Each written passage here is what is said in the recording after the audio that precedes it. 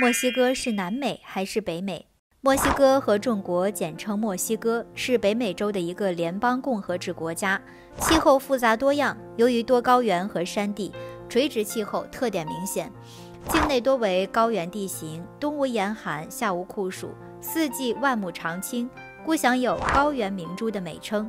墨西哥主要的能源矿产资源有石油、天然气、油和煤等，金属矿产有。